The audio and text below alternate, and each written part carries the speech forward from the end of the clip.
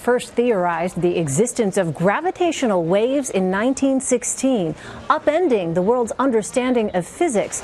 And now, after two massive black holes collided nearly 2 billion light years from Earth, astronomers at the LIGO Observatory in Washington state have detected a fourth set of these ripples in the fabric of space time.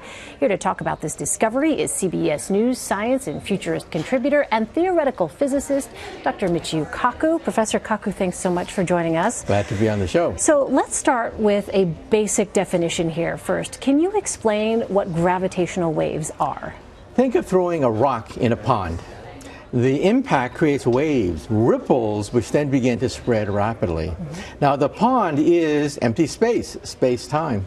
But it's like a fabric, says Einstein. So when you drop a rock on the fabric of space time, it causes ripples that travel at the speed of light.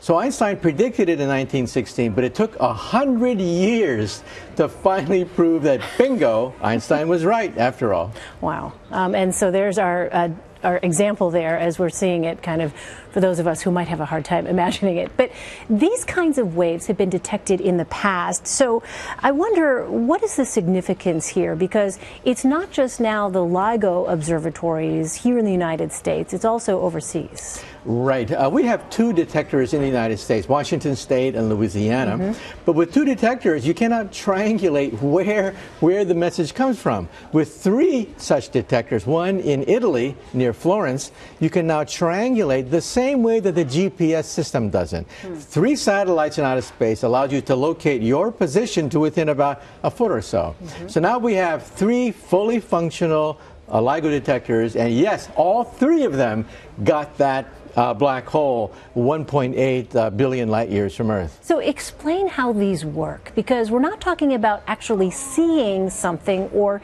hearing something from outer space. That's right. The wave of gravity comes from a distant uh, place in the universe hits one of the detectors, which is shaped like an L, uh, two laser beams like this, and it jiggles it. When it jiggles it, it causes an interference pattern, which immediately is picked up, and then you know that a disturbance of gravity hit that detector.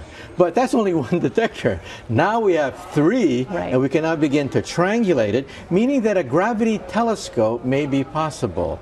Now, light telescopes allow you to see planets. Radio telescopes allow you to see galaxies out there. A gravity telescope opens up the possibility of getting baby pictures of the Big Bang. Wow. Of getting uh, inside the black hole itself to see what happens to all these stars that fall in. It could open up a whole new realm of astronomy, gravity telescopes. I just, I, it's so amazing to think about that possibility. But we were showing some pictures of the LIGO Observatory, I think the one in Washington State. Explain how vast these are. I mean, there was enormous thought and care and attention put into where these devices should be because they are enormous. That's right, and they're very delicate. If someone sneezes a mile away, you can pick it up with these laser detectors. In fact, it's so accurate, it can even pick up the tides. It can pick up the tides hundreds of miles away. That's why they're very expensive, costing billions of dollars, very sensitive, so sensitive you can detect these gravity wave detectors. And we think that this could open up a new domain of astronomy. Each time a new telescope came online, it revolutionized our understanding of the universe.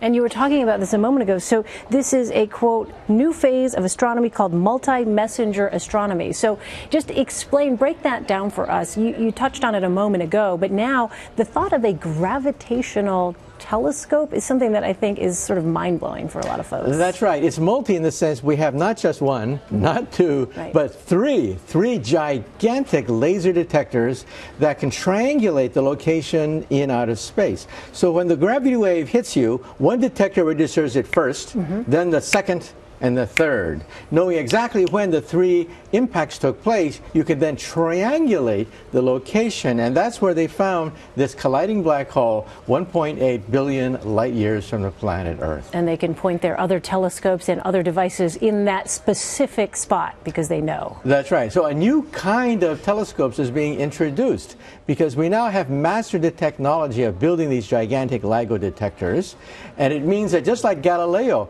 uh, turning the telescope to the heavens opened up what we call modern astronomy. Now, modern cosmology is going to be opened up because we're going to get right into the center of a black hole and perhaps have baby pictures of the creation of the universe itself. Wow, truly mind blowing. Professor Michio Kaku, thanks so much. My pleasure. You